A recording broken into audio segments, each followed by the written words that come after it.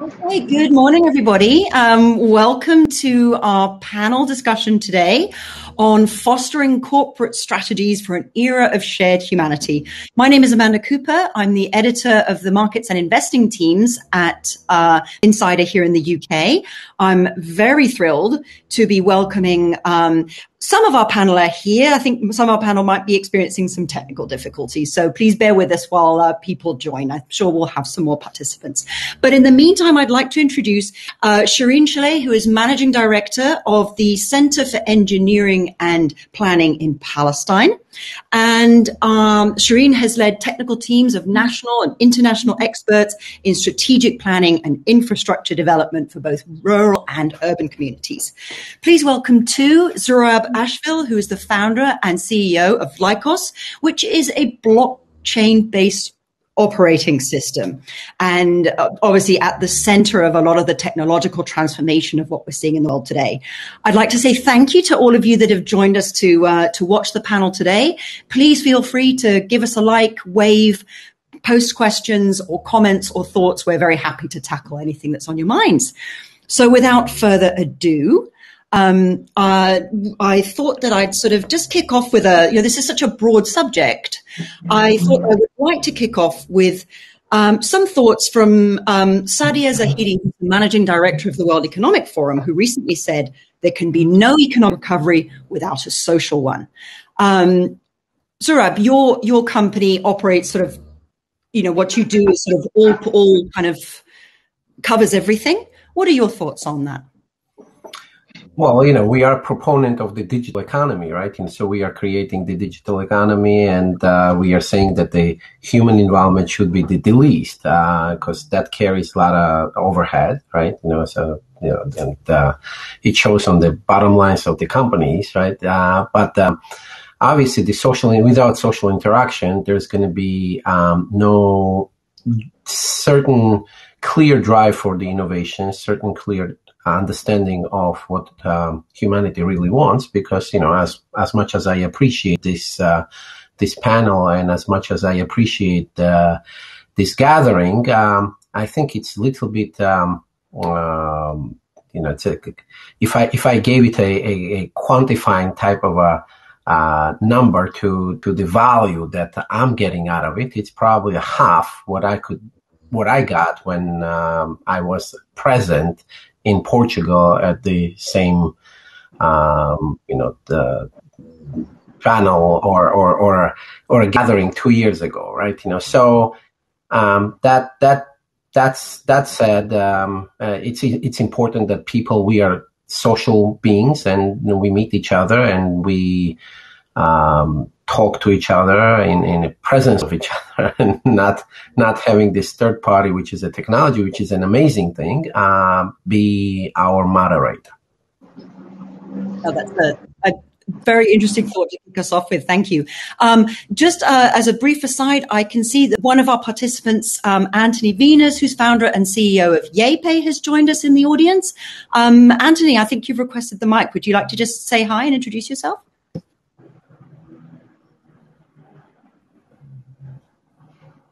I finally made it in. Sorry. Even better. You're with us. Thank you so much. Nice to, nice Thank to see you. Thank you so much. Great to see you. Okay, so as, as, you heard, we kicked off with a you know a question about uh, you know how there can be no economic recovery without a social one, um, and certainly as Zurab mentioned, this sort of technology which is sort of forming this this third party in in, in what we do is you know obviously a a stopgap. And as we kind of move to more normal life, hopefully it will take a bit more of a, perhaps a, a, a backseat, as it were. Um, now, COVID 19 has done a lot of things, but it's certainly exposed the kind of, um, you know, social inequity uh, across the world, whether that's sort of accessibility to vaccines or economic recovery and so on.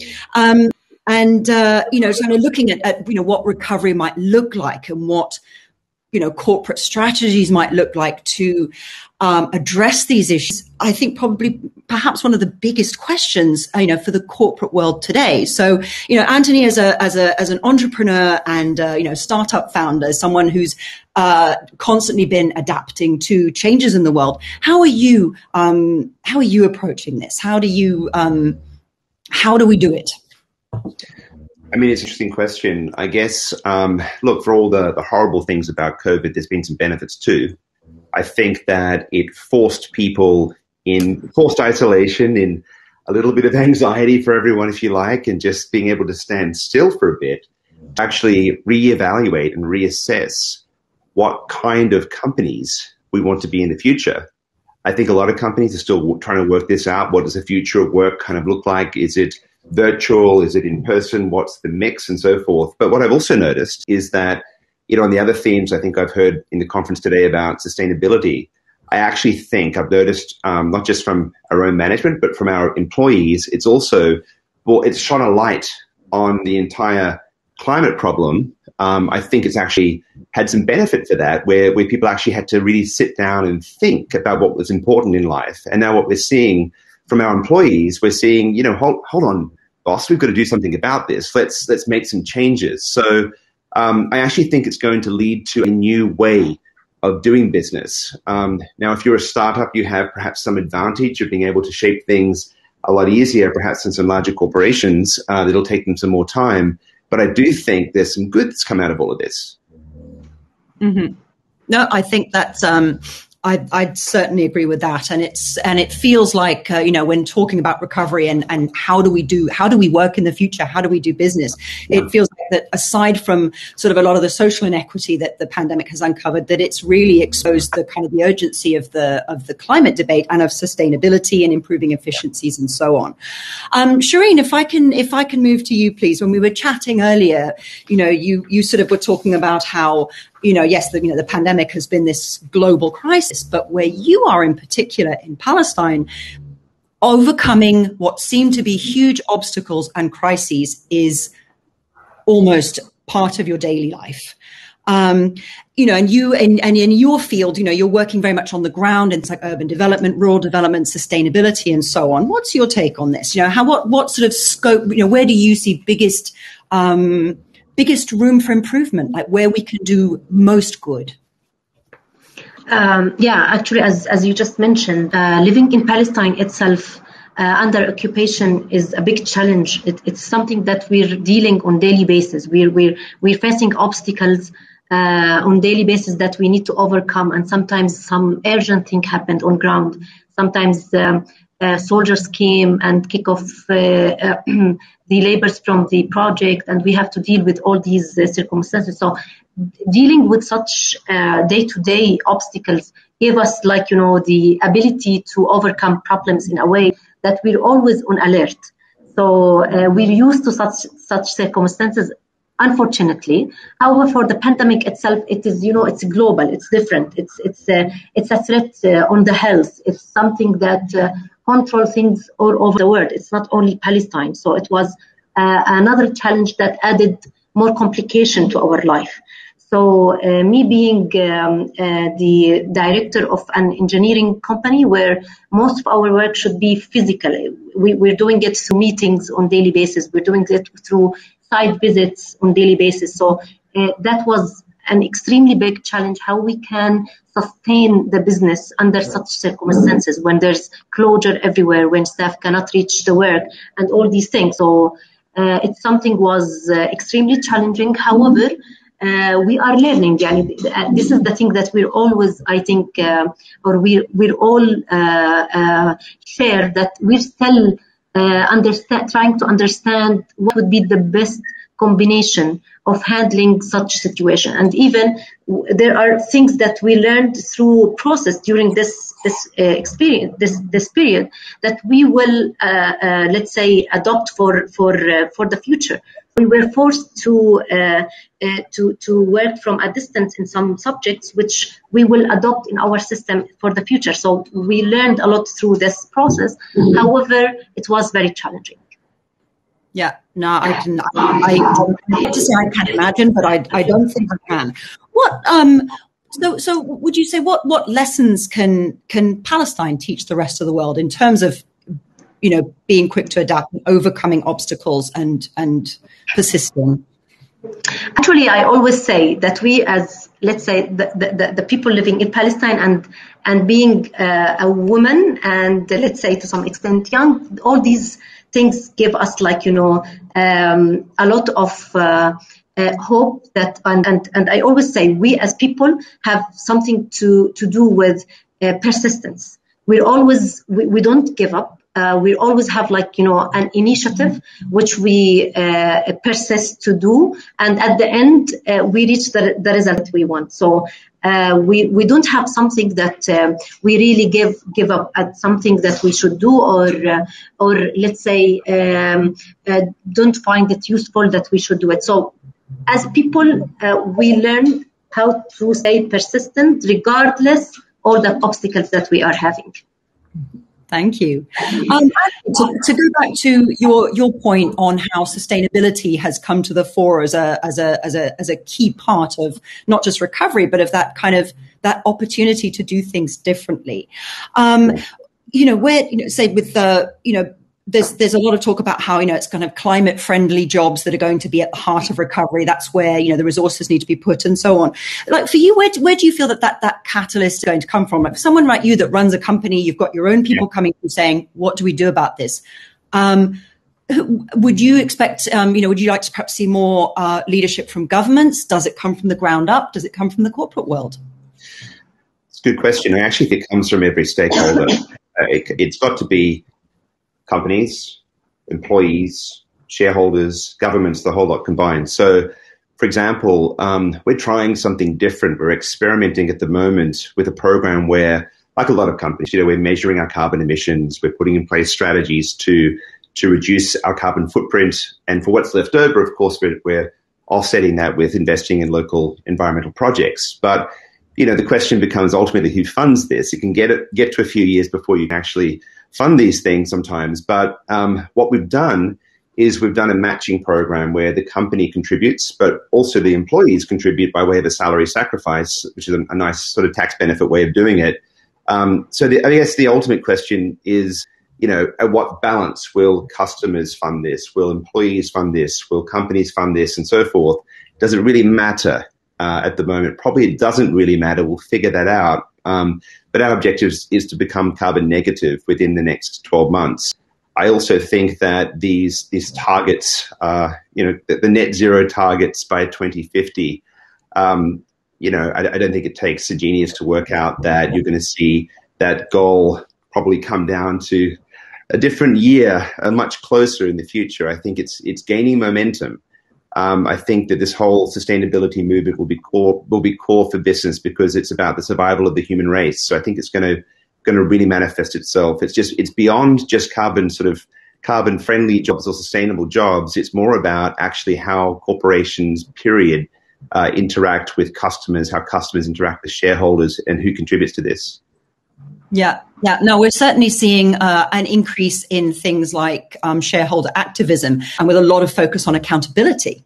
Yeah, absolutely, absolutely. Yeah. The whole ESG movement has has really gone through the roof. I think I, I think it's uh, there's an article in the FT over the weekend saying that already uh, it's doubled in the last year the number of major corporations uh, who signed up to ESG initiatives. I think it's now 20 or 25 percent. So when you, when you see the major corporations doing it, you know that um, it's going to be a, a trend right throughout. That's certainly true. I remember reading a statistic towards the end of last year that uh, I think it was research from Oliver Wyman that sort of looked at uh, you know all, all, kind of all the trillions of dollars invested in assets um, in the world. And I think it's like one in four dollars is now in a sort of a, an ESG friendly product. So that goes to show that that, that, that, that share is only going to increase as we go forward. Um, sticking with the, the subject of um, sustainability and then the kind of the accountability that, that, that comes with that. One of the things that it, it feels to me a little bit like that, that people are looking towards is like the, the, the great hope here is towards technology and how that, it, how that sort of somehow intertwined with you know the move towards net zero on a number of levels. Um, I think Zurab, you're our, you're our, our, kind of our tech addict here. How are you? Um, how does the how does the whole sort of this this push for for you know for net zero by 2050 for greater accountability on on kind of not just climate but also social and government governance goals feed into you know what, you know your business and perhaps what your clients are requiring from you? Right. I mean, I mean, um, we have to. Um, well, thank you very much. I mean, this is a great subject and a great, great question. The thing is that um, I think we have to look at uh, at this uh, from uh, almost like an anecdotal statement, right? You know, so I, will tell you a little story, right? You know, so when I moved to United States, uh, I, I, saw this this new and upcoming company, uh, you know, rising up, you know, and uh, it was like zero zero calorie yogurt company, right? So they would basically everybody that, that cared about uh, the calorie intake, they, they would go and buy this yogurt. But you know, the toppings, see the yogurt was zero calories but the toppings were probably like 10,000 calories right? You know so so that's the thing. So now it's the toppings that you know we should be talking about and not the substance right? You know we can we can commit ourselves to the net zero to minus you know to, to, to the to the negative carbon footprint but then comes this big whale. It's called the government, and it's called the and then you know what? You have to file. So you filing every time I hear a file, uh, and unless it's like you know some kind of digital form, I see a tree dying. Right. So what is the what is the carbon footprint by, by, by killing a tree, right? You know, so then when you're dealing like, you know, doesn't matter. I mean, you know, you have this like the, this new movements that every, all the money in the world is going to like DeFi, which is decentralized finance. You know, uh, all the money in the world is going into um, you know, like a, the, the reg tech and all the other techs. But, you know, at the end of the day, then you have this like, you know, old system called the regulatory kind of oversight, right? You know, FCA, SECs, and, you know, like FDAs and all the other different types of regulatory elements of the world in any any region, right? It doesn't have to be just the UK or England or you know, you have regulators everywhere. Now, they are as bad as the dinosaurs or as far as the technology uh, appreciation and understanding it. So unless they're gonna come in and, and get online, then we're gonna have this similar type of approach where we're trying to be like a zero calorie yogurt, but they all the other things, the toppings, obviously they, they contribute to the to the most. Right? That's that's my five cents to that uh, question. So, I mean, I know that, that, that generally speaking, most people aren't hugely keen on regulators. Um, are they, are they at the moment, are they kind of the, the biggest barrier to that, that transition to, uh, you know, that, that having that accountability and meeting your sustainability goals in that case?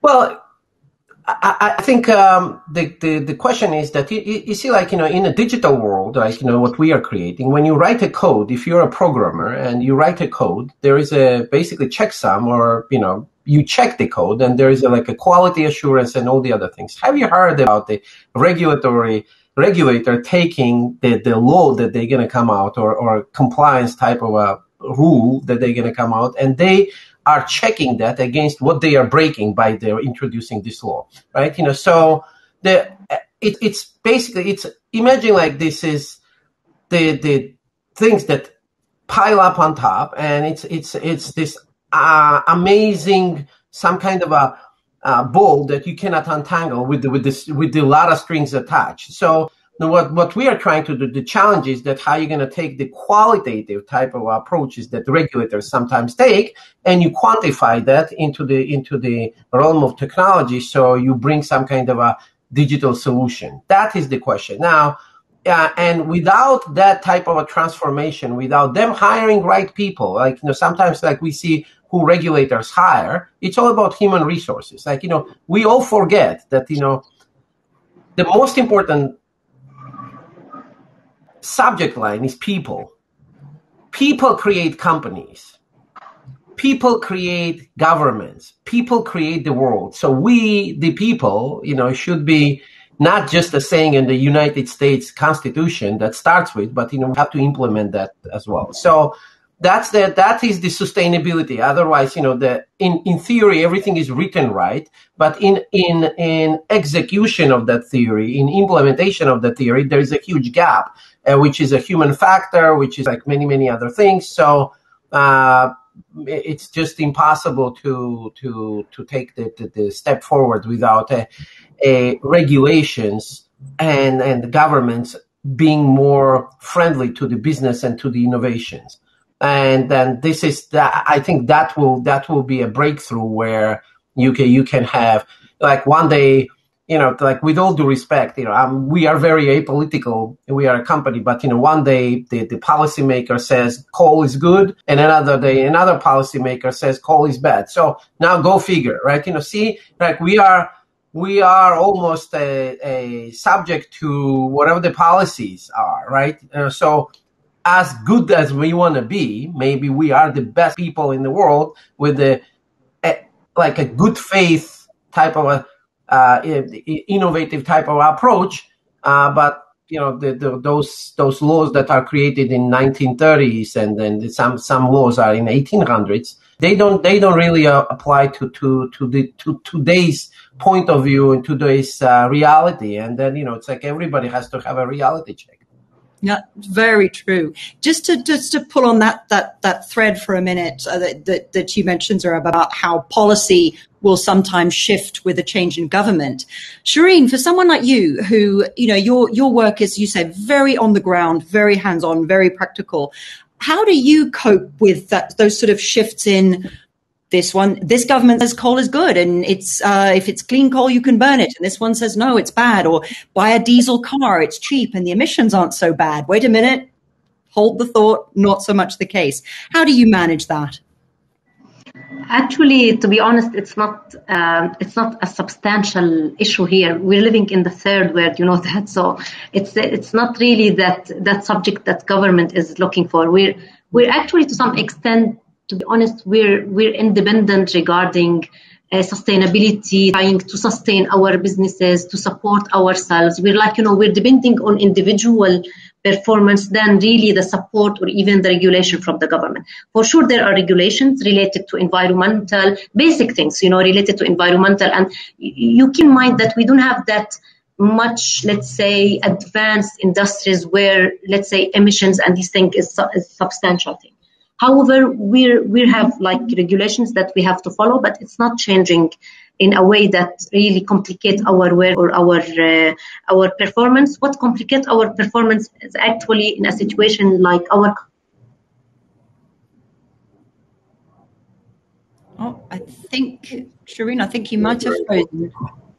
Well, yeah, the, the, I guess it's that they have different type of needs and demands because this is this is like a basic infrastructure needs and demands. I mean, hence her losing the internet connection, right? You know, so there are certain uh, you know liberties that we take as as, as given uh, to us, but um, some of the parts of the world don't have that luxury. I think I lost all of you. Then you're back. Sorry, I, I missed the comment. Yeah, as you mentioned, we have basic uh, uh, we have basic demands and basic, let's say, needs uh, that we need and actually to some extent we're, we're like you know living on emergency basis the problem that we don't have like you know a long term plan as much as an, a response on immediate immediate needs. And this is what make us like you know we're not developing in a way uh, that we're like you know um, planning and uh, uh, constructing work in a way that we will be ready uh, for uh, responding to our communities in the coming 10 years. No we're responding to the immediate needs that we're having day to day from the people in order to respond to people demands on ground due to different uh, uh, factors, not only that we're living in, in third uh, uh, world, but it's also related to the living under occupation and the restrictions that we have from the Israeli side regarding uh, access uh, limitation on resources, even the main ones like water and all other things. So sometimes you plan to do a project that it is very, let's say, it's very urgent for the community, but yet the Israeli side do not accept it. So we have these that much complications that we really don't have. Uh, the, the, let's say the, uh, the, the, let's say the luxury to look on other factors. Unfortunately, we're, we're at people really care a lot about things related to climate change, care a lot about things related to environment, but the conditions around us doesn't really allow us to handle this in the right way. I no, thank you for that. I was going. I was going to say that I think you, you know, what you were saying about, you know, being based in a in a developing nation, it brings us very much back to the subject of this panel, which is fostering corporate strategies for an era of shared humanity, where there is, uh, you know, where there is that kind of collective approach to problem solving and so on. I couldn't possibly volunteer any thoughts on what the solution might be for your region. Um, but um, but it, it feels to me like like yes, this is very much the, the, the crux of the issue. Anthony, I think you look like you had some thoughts on uh, what Shireen was saying. You know, uh, I've got some sort of general thoughts about um, just taking it from also the consumer angle for a bit as well. Mm-hmm. Um, the going back to uh, I know it's a little bit away, but back to the whole um, I've been thinking about it the the yogurt comment before it was made. Now of course, consumer education has improved since then, and now we all know that that little bit of jam on top of the yogurt has lots of calories. Now, I wonder how far along the path we are in every society about sustainability education, because we also talked before about, you know, every every paper we feel bad about, you know, it's a tree and so forth. But however, there was a comment made in a previous session, I think it was by David Rothschild, about that every Facebook post was equivalent to burning a light bulb for three hours. Um, I also we also did some work in the company yesterday that every computer that we bought was 20,000 liters of water and 600 kilograms of raw materials.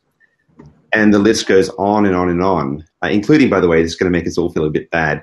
Um, we've now got we've now realized in the company actually putting the video on.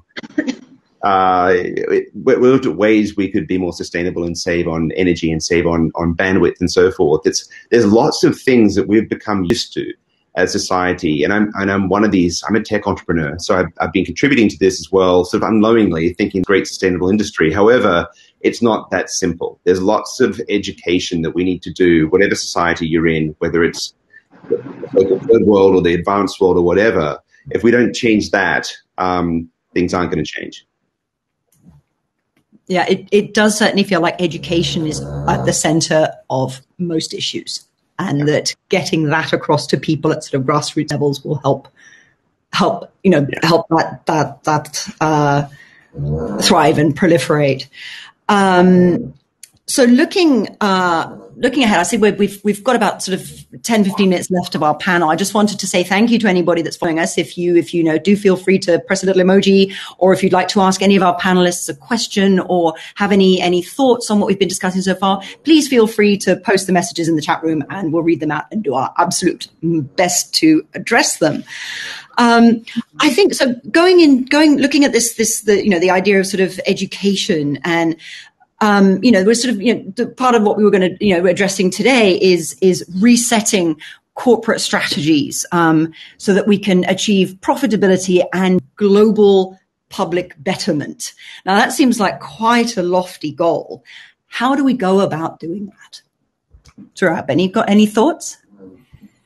Well, it's uh, that that is, a goal for the future, right? You know, so it's it's it's a it's like a destination, right? You know, it's like Google Maps. So you have a destination from point A to point B. So our point B is like sustainability, you know, the, the uh, all the greatness and all the other you know superlatives that we can we can pull together, right?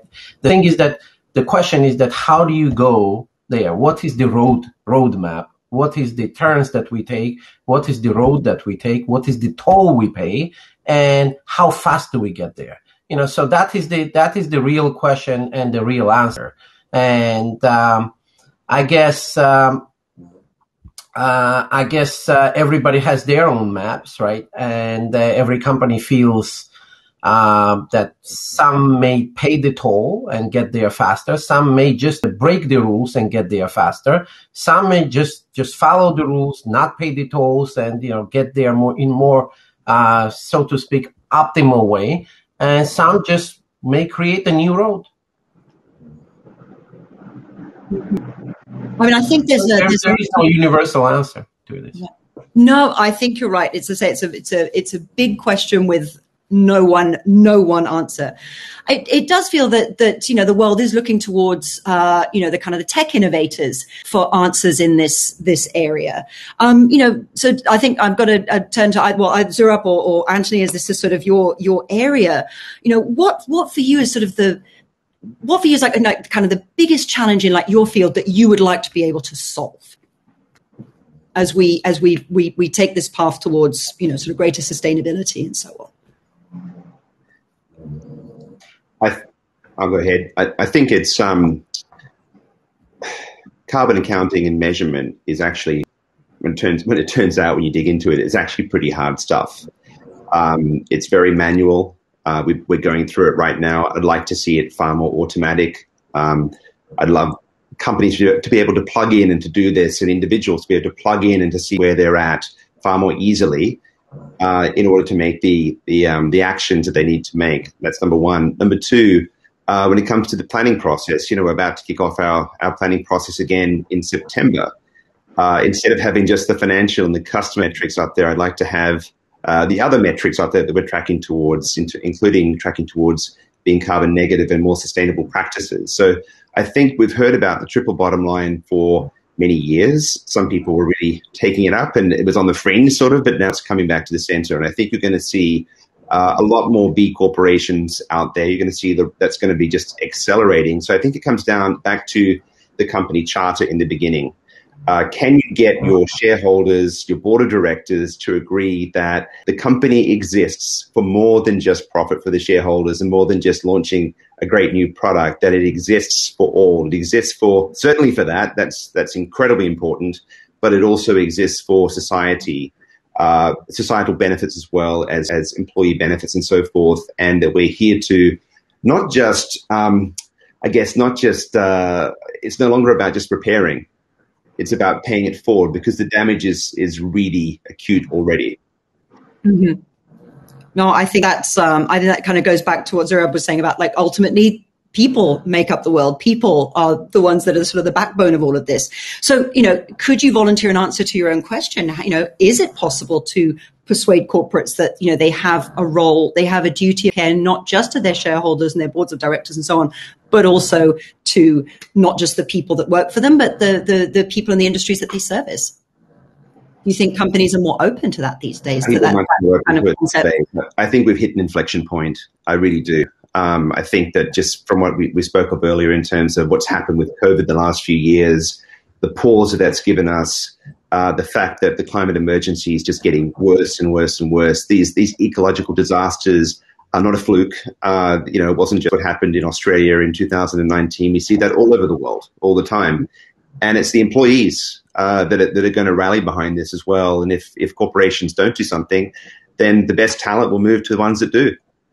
Mm-hmm. Yeah, I suppose including, that's, that's including the investors that you pointed out before. Yeah, yeah. Well, as I said, we've certainly seen that rise of, of investor activism, and, and like the example of that little that little hedge fund that suddenly got a seat on the board of, of Exxon and said, "No, what you're doing isn't good enough, and we're going to hold you accountable." Yeah. Um, Zurab, you're you know you're deeply you know obviously your your you know the your your company is a sort of a blockchain based business. You know, as I say, it's a word that's been bandied around for years as the answer to lots of different things. Um, what uh, uh, what kind of how do you how do you see um, that sort of digitalization, that sort of you know the uh, blockchain technology and so on? What's what's the biggest difference do you think it can make in the sort of the the short term? I know you mentioned earlier, sort of you know this the, the issue of regulators, for example, you file papers, you kill a tree, and so on. What's what's the, the, the biggest transformation that you would hope that it will make? Sorry, it's a big question. Well, uh, that is the goal. um, it's a, it's a challenge. I mean, this is a this is a I, I, you asked a question that carries like a future sixty years roadmap, right? Uh, so. I used to work for a company uh, called SoftBank, and uh, our founder Masayoshi-san, he had a still has 300 year plan. Now our company L3COS is is very small, and uh, uh, comparing to SoftBank is this very a dot on the map. Uh, but we have a we have a pretty much a, a, a 80 year plan. So it's like a 2200, right? So this is this is like really um, how do we get there and uh, what do we do? How do we change the world? And um, it is that we invented the technology of the future. Now it's delivering the communications on a daily basis. 2021, like June 8th and June 9th, and uh, meeting a lot of people uh, in different sectors. Um, digitalizing these sectors is changing. Um, basically, everybody everybody thinks that we are digital enough. Actually, we are not because we have too much overhead, which is um, the trust that brings a huge overhead. And you know, this is the um, no no no attorney is going to like what I'm going to say right now, but you know, trust is very overrated right now, given the technology that we have. Um, so you can basically automate and and take out the trust from the equation, and that will probably uh, free up another 20% of the cost of goods or cost of services that is provided. Um, same way that uh, by having a, a government also uh, enabling their ability of signing into the to the technology, you know, the, the, the major points are the taxes, uh, regulations, things like that nature. So, I mean, you know, we are going and moving towards transparency, but in reality, we are adding more and more and more holes and loopholes just to take out the transparency and take it an unattainable goal. So when you have a technology, you don't have to worry about the calculator in, in your iPhone or whatever the device that you're using, that it's going to give you a mistake. What you worry about is that when somebody else calculated it and it needs an auditor, it needs like, you know, triple, four checks, you know, think about how many repetitive moves that we do, right? You know, let's start from the people, right? People are the most important resources, right? And then time is the most important resource because we, we all know that we're going to die. All of us going to die. We're not, none of us know how much time we have on this earth. So we are trying to we are trying to be concise. We are trying to be to the point and not waste our time because time is the most important resource. Now, people are most important resource, right? So think about this. We all know this. There, there is this regulation called KYC. Right now, it doesn't matter where you go, right? You know, so you have to prove that you're not a giraffe, that you are who you are, right? You know, so but the, at the end of the day, we are worshiping piece of paper that is printed. It's like a or, or a plastic, which is a, a, form of ID. But nobody really cares about the human being anymore, right? So there are so many IDs out there, right? You know, let's start from identification first, right? You know, let's start from identifying ourselves and who we are dealing with, right? Because we are human beings and we like to know who we are dealing with. Because when we meet each other, we say, "What's your name?" We say, "What do you do?" You know, we are curious curious beings by, by nature.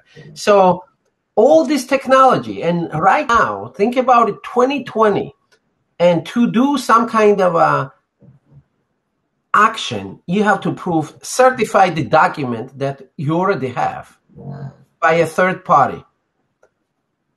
Okay, so I mean, you know, look at, I mean, this looks, seems ridiculous. Why should I certify anything? I have a US passport, I'm a US citizen. So if I bring you the passport, why do you need the third party certificate? Because they try to anybody. I mean, you know, look, the regulator put the back down to the corporation, so we are liable for the KYC AML. What do we know? Like, if if you ask somebody what is AML, there is just the paper, but there is no real because everybody has their own risk model, right? You know, so so one company that you may deal with uh, uh, may have a different type of risk um, appetite and another one can have another different different type of risk appetite. Then if you google right now like all this big world everybody's being fined every year for aml regulatory type of things so there is no simple rule that says this you cannot do and this you can do. So there is a rule that says we don't know what it is but it is there Okay, so what what what do you create? You create you create environment for bribery. You create environment for any kind of a bad word and adjective that we're going to find right now. This is what we create, and the regulators and the policymakers are responsible for our future because that, we cannot do anything else. So basically, for me to open up a bank account right now, uh, or anybody to open up a bank account. When you go to a bank, they treat you like you're already a perpetrator. This is how the, the, the, the, try to open. I mean, go to a bank, open up and walk into the uh, a branch of Barclays and and try to open up a bank account. This is how they treat mm. a, a, customer because they they now depending on what branch you go, this is how they inter- everybody interprets this regulation. mm-hmm. right? One branch may ask you one set of the documents, and another branch, same bank, may not ask you for the say, that say, say, set of documents. So yeah. it's not like um, you know, like uh, this is this is completely ridiculous. So these are the things that we are wasting our time on. These are the things that we are creating. This is like just the you know human interaction goes to. You cannot hire a, a solicitor, a lawyer without going to K- KYC and AML. Mm. You yeah. cannot, you can, I mean, uh, but you know, cab driver doesn't ask you who you are. Yeah, I think, like you're saying, what you're saying about the, the, the issue of trust and that being sort of uh, how that's kind of in a way removed from the equation is is very interesting. I mean, it's a little bit of the irony of accessing something on the internet and me having to tell a Google robot that I'm not a robot. Um, I wanted to go, I love the comment that you made about, we're, we're coming to the end of our session. I love the comment that you made about people are the most important thing and time is the most important thing. And I think so, Shireen, for you, for someone who works in a very different environment to us, who has very different challenges and considerations, I, I imagine that resonated with you somewhat. Yeah, actually, I want just to um, to emphasize on the point that people and time are really the most important factors, even in, in our work. For me, my assets as a company, as an owner of the company, as even as a, as a, the one who's running the business, is my people. It's not only the colleague, my colleagues who's working with me in the, the company. It's also their families, and it's also the people that we are doing projects for them because we are impacting their quality of life when we do infrastructure projects, roads, water, sewage, all these things. We're trying to to to enhancing their uh, quality of life. So people is the main asset for us, and we're we really uh, we're always looking on sustainability to sustain our business in order to be able to sustain other people's lives. So it's not about ourselves as much as our the people that we are impacting, and time is a big a big factor in, in this process. Yeah, no, I love the, the, idea of humanity. Zurab, you have to go. Yes. Thank you so much for joining Thank us this morning. Very Thank nice you. to meet you, all of you. Thank you. Likewise, it was a pleasure. Um, Anthony, as we wrap up, any final thoughts from you that you'd like to share? Oh, I think you might be on mute. Uh, you'd think I'd run a technology company, right? I completely agree with. I completely agree with the people aspect as well. That's that's what it's all about. Um, and uh, but thank you so much for today. Oh, no, thank you. Thank you. All. It's been an absolute pleasure. Really, really inspiring and really thought provoking. And thank, thank you to everybody that's joined us to listen in. Take care. Thank you. Thank you. Bye-bye. Bye. Thank you.